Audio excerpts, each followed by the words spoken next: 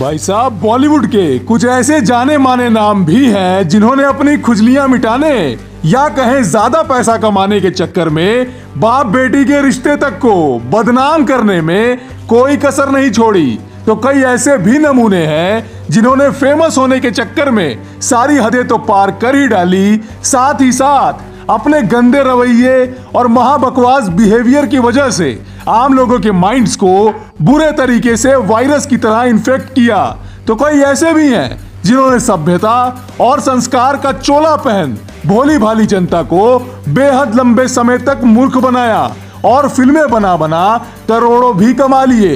लेकिन जब इनका गंदगी भरा नकाब हटा तो उन्हीं आम लोगों की इनकी असलियतें जान तोते उड़ गए। अपने समय में बॉलीवुड के बेहद कंट्रोवर्शियल डायरेक्टर रह चुके महेश भट्ट, जिन्होंने गजब के टोपी बाजों वाले कांड तो किए ही थे, जिसमें से ही एक कांड ऐसा भी था, जिसके वजह से आज भी लोग इनके नाम पर थूकते हैं। इन्होंने बाप बेटी के रिश्ते को ऐसा बदनाम किया कि आज भी लोग इन सारी बातों को जान सकते में आ जाते हैं।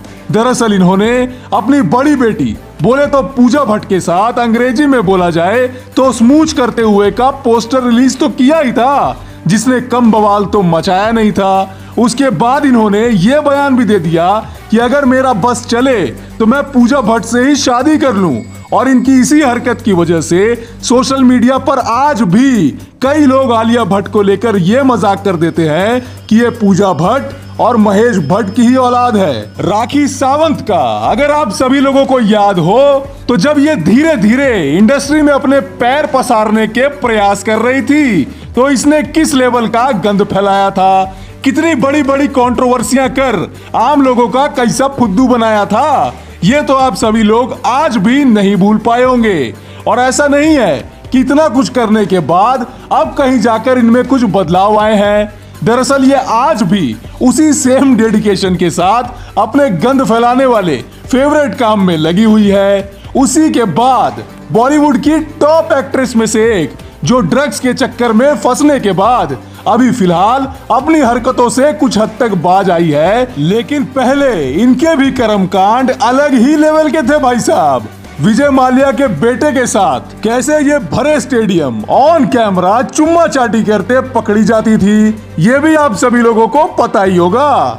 अभी भाई साहब, ये सुधर गई तो क्या हो गया? अभी इसका हस्बैंड बोले तो रणवीर सिंह है ना? इसके रहे सहे की कसर वो पूरे कर रहा है।